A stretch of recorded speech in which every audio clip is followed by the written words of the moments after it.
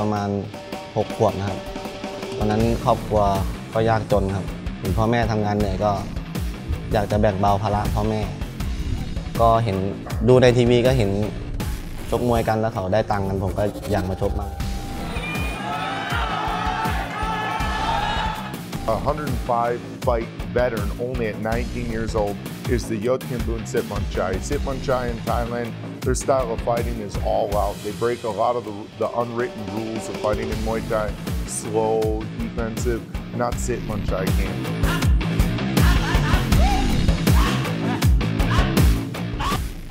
ผมว่ากติกาคิกบ็อกซิ่งมันก็ไม่ได้ยากเลยครับ ก็คล้ายๆมวยไทยครับ แต่ว่า คิกบ็อกซิ่งนี่ก็คือห้ามห้ามใช้ศอกห้ามปั้มซึ่งมันก็เป็นความท้าทายของผมครับที่อยากลองครับชอบครับผมว่าชอบครับ เพราะว่ามวยไทยผมไม่ชอบไม่ชอบมวยเข่าอยู่แล้วครับ The Sitman Chai house style has good boxing, extremely good conditioning, even by Thai standards, which is some of the best conditioning in the world for fight sport athletes anyway. And they're trying to finish the fight at all times uh, from the opening round. ซึ่งเป็นครั้งแรกที่ผมได้ชกในกติกานี้ ก็รู้สึกกดดันนะครับ เพราะว่าเรายังไม่ค่อยรู้ในกติกาเท่าไหร่ ซึ่ง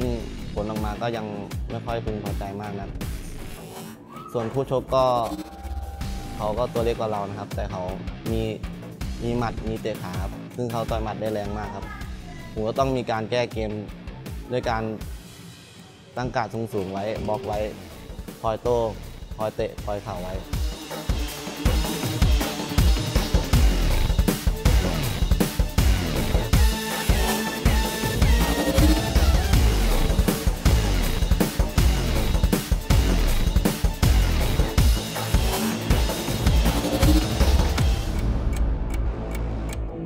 เคยได้ยินชื่อเสียงของเขาบ้างพอผมรู้ปุ๊บผมก็ไปค้นดูใน YouTube ครับ เขาก็มีสไตล์ คือเขาก็มวยไทยเนี่ยนะครับ คือต้นต้นตำรับเลยเขาซ้อมมวยไทยมาแล้วก็ชกมวยไทยมา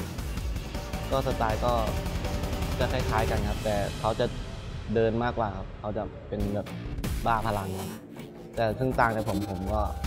คอยตั้งรับครับ Gabriel Varga is a lifelong martial artist. He grew up under a family. His father was his instructor, so he's got a pedigree of fighting in martial arts growing up. He's got a fun style to watch. Not only does he put together his combos nicely, he's got a very tasty spin back fist, spin back kick, and a very crafty fighter.